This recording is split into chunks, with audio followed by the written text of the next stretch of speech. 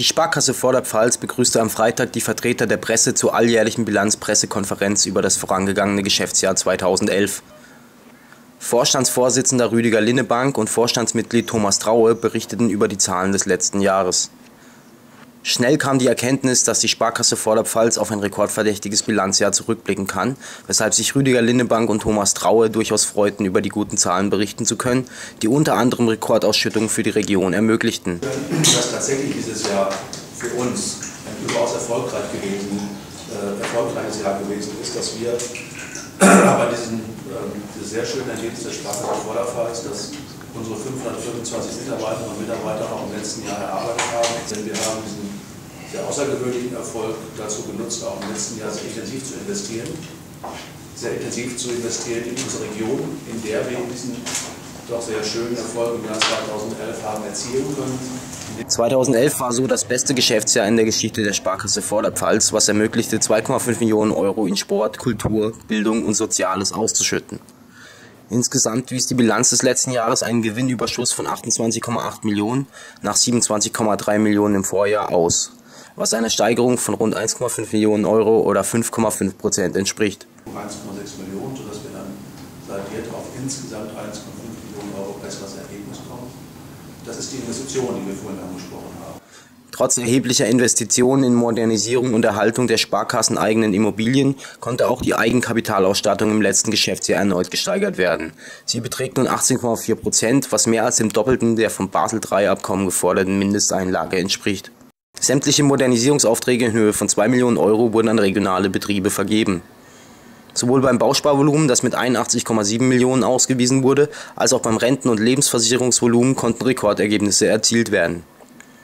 Das eigene Heim steht bei unseren Kunden nach wie vor immer ganz oben auf der, auf der Wunschliste. Wir haben uns hier äh, sehr konsequent aufgestellt, indem wir sagen, äh, wir haben alles unter einem Dach von der Immobilienvermittlung über die Finanzierung bis zum Bauspargeschäft und bis zum Immobilienversicherungsgeschäft, aber auch der Familienabsicherung. Rüdiger Linnebank und Thomas Traue führten das positive Ergebnis auf ein steigendes Vertrauen von Sparern und Betrieben in die solide Anlage- und Investmentstrategie der Sparkasse zurück, die sich aus Spekulationen mit Staatsanleihen und anderen kritischen Wertpapieren weitestgehend heraushielt.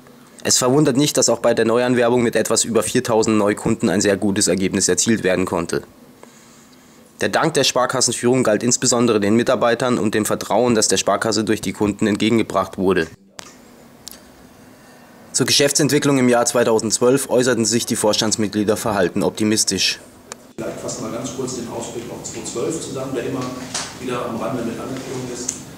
Wir sind vorsichtig. Wir wissen, dass wir für das Jahr 2011 ein außergewöhnliches Jahresverzeichnis hatten, was äh, zu Teilen der Trauer gesagt, selber auch überrascht, dass es so stark positiv ausgeschlagen ist. Wir wissen, dass wir einen Rückgang bekommen bei den Erträgen, bei dem, bei dem Zinsüberschuss. Der, wir haben Eigenanlagen äh, mit noch sehr hohen Zinscoupons, 4%, 5%, die wir angelegt haben vor vielen Jahren. Da war das noch möglich, ähm, in solcher Höhe entsprechende Anlagen zu tätigen. Die laufen aus, wir planen auch den Provisionsüberschuss vorsichtig eher wieder auf den normalen der normalen Höhe und auf diesem ähm, sehr stark gesteigerten Niveau. Nach der Vorstellung der Bilanzzahlen beantworteten die beiden Vorstandsmitglieder außerdem noch einige Fragen zur allgemeinen Konjunkturaussicht. Welche Herausforderungen sehen Sie für das kommende Geschäftsjahr noch, außer dem, was Sie bisher genannt haben? Die wichtigste Herausforderung ist, äh, ist zweigeteilt, hängt aber, hängt aber eng zusammen. Die wichtigste Herausforderung ist, dass wir es, es volkswirtschaftlich schaffen, äh, die, die, die Schuldenkrise, die wir momentan eben alle durchleben, in den Griff zu bekommen. Und ähm, wir haben Sorge, dass momentan in der, in der Bekämpfung der, der, Schuldenkrise ähm, noch nicht ausreichend konsequent die notwendigen Maßnahmen durchgeführt werden. Ähm, es wird nicht reichen, die Staaten, die momentan in der Schuldenkrise leider ganz vorne stehen, äh, immer wieder neu zu finanzieren, neu zu refinanzieren, ihre Liquidität sicherzustellen, ohne grundsätzliche Verhaltensveränderungen durchzuführen. Ähm, der erste Staat, der erste Staat, der die Maastricht-Kriterien gerissen hat, oder die ersten beiden Staaten, die die Maastricht-Kriterien gerissen haben, 2000 bis 8, ist drei Jahre her, waren, waren Deutschland und Frankreich. Das waren die, ersten, die beiden Lokomotiven in Europa, haben als allererst die Maastricht-Kriterien damals gerissen. Ähm, und keiner hat sich getraut, wirklich Konsequenzen durchzuführen.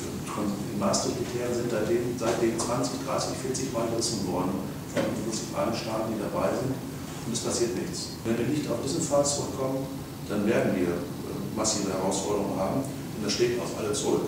Wir haben zum Glück keine Griechenland-Papiere. Viele andere Häuser, leider auch Landesbanken, haben Griechenland-Papiere. Es sind Milliardenabschreibungen vorgenommen worden bundesweit. Und das sollten wir uns nicht zu häufig erlauben. Wo sehen Sie denn die Gefahren, wenn Sie jetzt nicht involviert sind, direkt in diese äh, Staatsanleihen, dass es auf die Sparkasse zurückfällt?